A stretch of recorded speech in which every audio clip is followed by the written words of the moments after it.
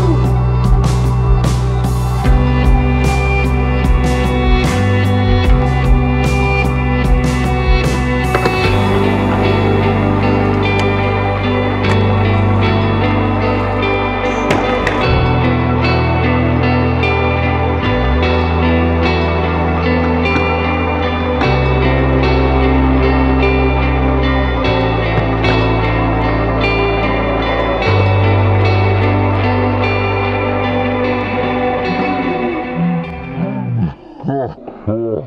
Hmm.